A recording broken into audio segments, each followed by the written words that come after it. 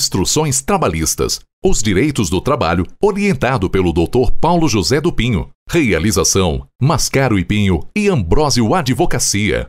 Boa tarde, doutor Paulo, tudo bem? Boa tarde, Solange. Boa tarde, seguidores. Tudo bem, sim. Continuamos aí falando de patrão e funcionário, né?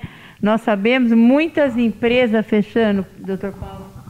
Infelizmente, como já falamos na entrevista anterior, é, o desemprego está muito alto. Cerca de 14 milhões de pessoas estão desempregadas, né? E se levarmos em conta que, se, que esses lares são compostos de um casal, é, isso vai para 28 milhões. Se tiver um filho cada um, chegamos a 42 milhões. Então, são números assustadores, né? 14 milhões. 14 milhões é a taxa divulgada. E fala para mim, doutor, hoje nós vamos falar assim sobre a rescisão, né? Funcionário é demitido, patrão é obrigado a fazer a rescisão, a rescisão do funcionário. Mas e aí, você também que foi demitido, né? Seu patrão pagou sua rescisão certinha, ou você teve que entrar aí, né? Com alguma. Como que fala, doutor? Alguma medida judicial. Medida judicial teve que entrar com alguma medida judicial, aquele patrão que não paga certinho, né, a rescisão. Existe alguma penalidade? Olá. É, existe sim. Existe não uma penalidade, mas várias penalidades se você não cumprir o prazo de pagamento das verbas rescisórias dentro do estipulado na lei. Existe penalidade sim. Então vamos colocar, por exemplo, a pessoa é demitida, ela paga o aviso prévio, que nós já até coment... já falamos sobre isso também. Aí o patrão ele tem um determinado prazo para estar tá fazendo a rescisão. Como que funciona? A dispensa sem justa causa do empregado, ela é, é regrada o pagamento no artigo 477 da CLT.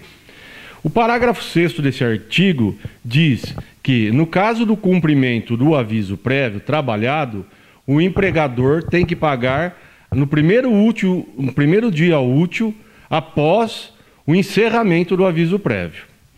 E no caso da dispensa do aviso prévio, uh, esse mesmo parágrafo 6 diz que o empregador tem que pagar as verbas rescisórias desse empregado em até 10 dias corridos. Nossa, 10 dias corridos. E aí, se o empregador não cumprir essa obrigação?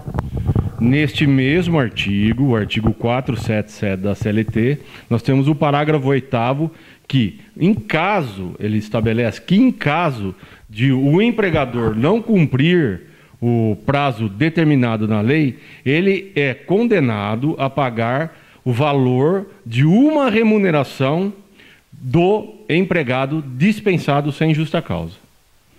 É, levar em conta a última remuneração dele e o empregador já automaticamente está condenado a está obrigado a pagar esta penalidade. É, por exemplo, se no último salário dele, antes da dispensa, ele recebia 3 mil reais o empregador não pagando as, res, as verbas rescisórias estabelecidas, ele vai receber, além do todas as verbas rescisórias de direito, essa multa de mais 3 mil reais. Mais uma pergunta aqui, uma dúvida, né? Eu acho que para quem está em casa também. Tem um, determinado, tem um prazo determinado, por exemplo, que nem o doutor disse, né? São 10 dias corridos. Se não pagou nesses 10 dias corridos, Conforme os dias vão passando, vai aumentando ou não existe esse prazo? Sim, vai aumentando porque tem os juros legais, né, que são compostos de 1% ao mês, mais a correção monetária, né? Então aumenta sim, todas as verbas rescisórias, é, conforme vai passando o tempo, elas vão sofrendo o efeito da desvalorização. Então, elas são é, atualizadas com juros de 1% ao mês, mais correção monetária. Veio na mente aqui, doutor. E se uma pessoa, né, o empregado fala, o empregador fala assim, olha, você assina a rescisão para mim, mas fica tranquilo que depois eu vou acertar com você. Jamais deve fazer isso. Não, isso não existe, né? Como eu disse, a lei estipula. Cumpriu o aviso prévio no primeiro, útil, no primeiro dia útil após o cumprimento. O aviso prévio foi dispensado é, por qualquer circunstância em 10 dias corridos a partir da dispensa. Tem que pagar. Ou se não, sofre essa penalidade que eu expliquei, que é o valor da última remuneração dele. Né? Tá, mas aí o empregado ele tem, tem que entrar com uma ação para tentar receber isso. Como que funciona? Por exemplo, se ele for obrigado a entrar com uma reclamação trabalhista perante a Justiça do Trabalho, é, e essas verbas forem verbas incontroversas, incontroversas, é, não tem discussão sobre as verbas, não foram pagas, são as verbas elencadas na CLT e na Constituição, não foram pagas, então são verbas incontroversas. Por exemplo, aviso prévio, é, décimo terceiro, férias vencidas ou proporcionais e assim por diante. São verbas incontroversas. Então, é marcada uma primeira audiência de conciliação e já nessa primeira audiência, o empregador deve pagar essas verbas incontroversas. Se ele não pagar, ele vai ter outra penalidade, que é uma penalidade é, é estabelecida no artigo 467 da CLT, que diz o quê? Se as verbas incontroversas não foram pagas é, já na primeira audiência, é, o empregador vai pagar elas com um acréscimo de 50%, cada uma delas. Por isso que existe muito empregador que fala assim: nossa, eu estou precisando demitir, mas agora eu não tenho como pagar. Vou ter que ficar mais. Olha, é, é, verdade. Hoje as empresas estão passando por um sufoco. Nós já comentamos sobre isso, né? Nós entendemos o lado do empregador, mas é o risco do negócio dele. Quando um, uma pessoa se diz empresária, ela está sujeita aos riscos inerentes ao empresariado. E esse risco de diminuição de capital de giro, de crises, ainda mais no Brasil, eles são riscos que são perfeitamente previsíveis. A pandemia não, mas é, o empregado também não esperava isso, certo? Então, o, o melhor de tudo é as partes é, se aproximarem, se aproximarem, sempre estarem de boa fé, no sentido de realizarmos um acordo para a dispensa. Sempre os empregados assistidos né, pelo sindicato da categoria ou por um advogado particular e porque os empregados podem contratar um advogado particular com experiência para conduzir essa negociação e a gente poder, dentro da lei, com as penalidades inerentes, fazer um parcelamento dessas rescisórias.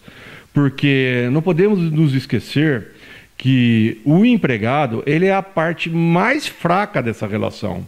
É, ele ficando sem as verbas rescisórias dele, sem o, o valor para ele poder sobreviver durante o período de desemprego, o valor mínimo, é, ele fica numa situação desesperadora. Ele tem que levar alimentos para casa, né? Então não podemos esquecer que é um ser humano que está ali e a dignidade dele é, é, maior do que tudo, né? A dignidade do ser humano, né? Estampada na nossa Constituição.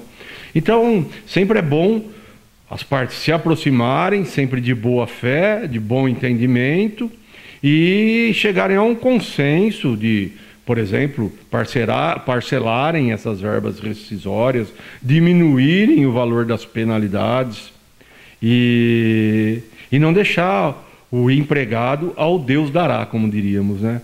Porque a função social da empresa não está sendo cumprida dessa forma.